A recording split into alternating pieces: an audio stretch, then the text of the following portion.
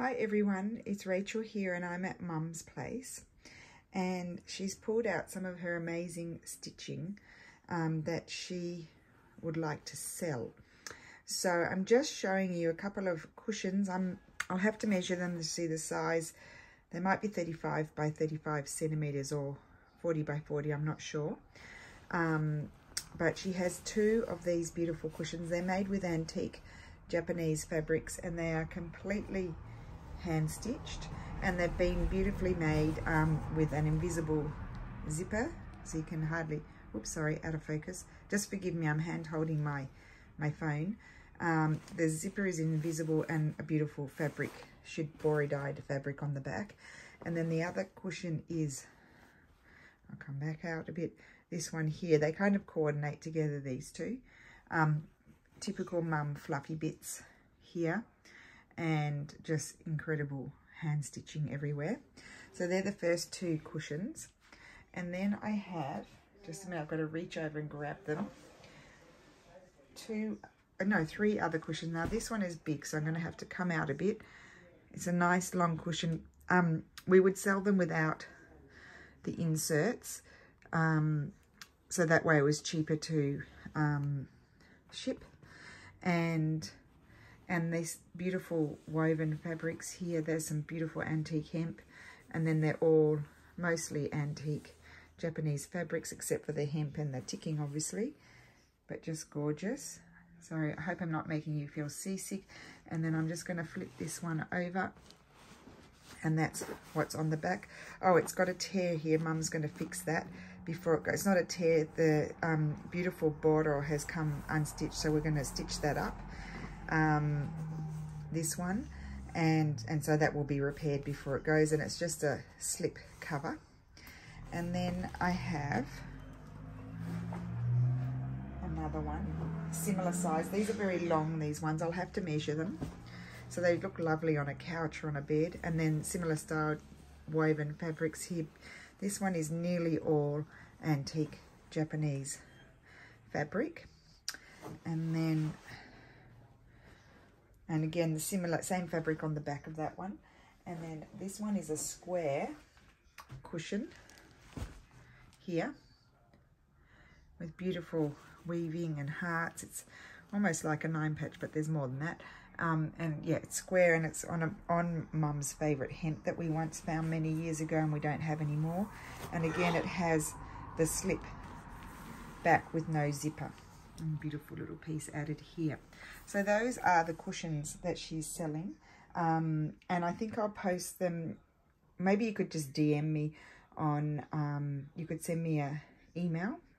I'll put my email in the description box and just say, just do them in order of cushion um, as they were shown and I can give you more information about them.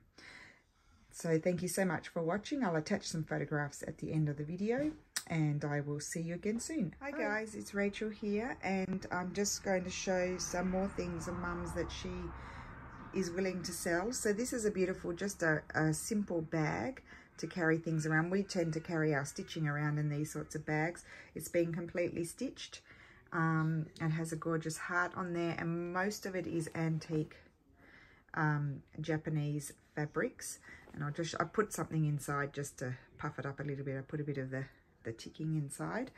Um, and quite often mum just folds that down so you can see the ticking inside and make it a little bit smaller.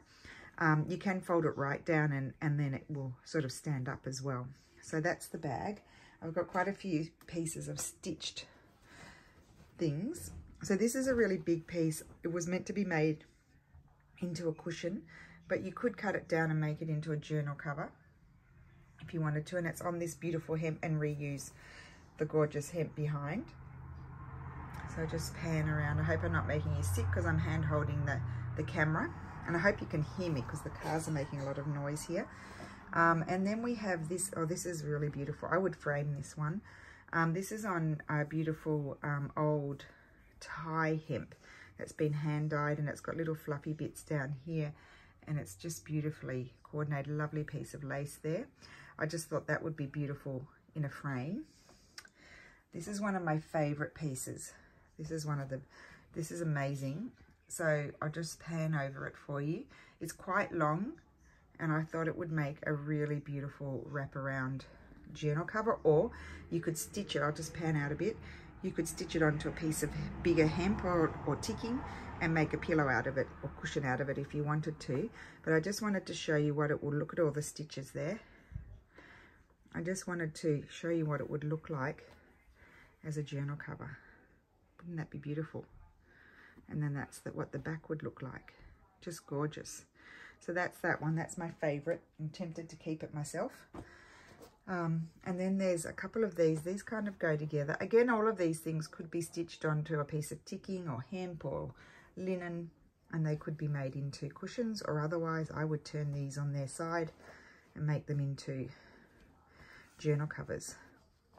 Have it that way and then, oh, sorry, I'm folding it and you can't see. I would, you know, have it that way or that way.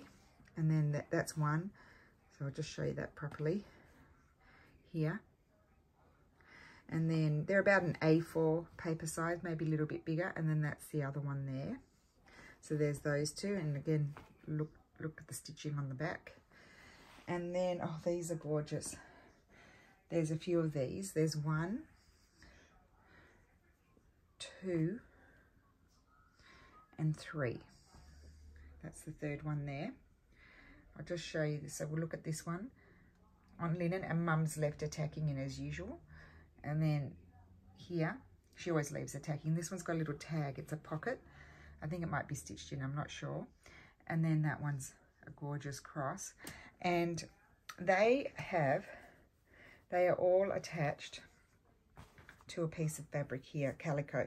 So you could add like a ticking or something like that or, or a linen or something. You could even do like a doily collage sort of thing there and make it into a journal cover, I was thinking. You could complete that like that. They're all the same. They've all got the extra bit on the back as well. These are, these are my favourites after the other one. So they're gorgeous. Oh, and here comes another favourite. This one here is absolutely gorgeous. And again, this could be framed. You could attach it to something, make it into a pillow um, or turn it on its side, fold it, and make a wonderful journal cover. Flip that over, and here. So there we go. So these are the pieces that Mum is willing to sell. Um, I'm going, again, you can email me. Um, I'll put my email in the description box and I'll add some photographs at the end.